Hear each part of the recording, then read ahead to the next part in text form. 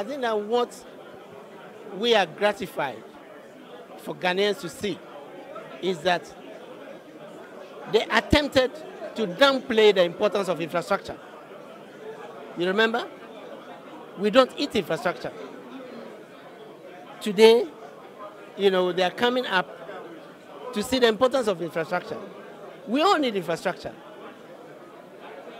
Borrowing was ruled out.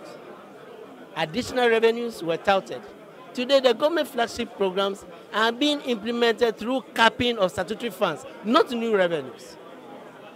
So if we have come to see the importance of infrastructure, we have come to see the importance of borrowing, not just borrowing, but smart borrowing, as we had, which gave us Terminal 3, which gave us, you know, various things.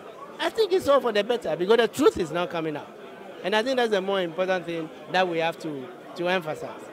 The fact that we are all coming to a consensus that to deliver the country, but the question is, what do they have to show for the borrowing that was done in the last two years?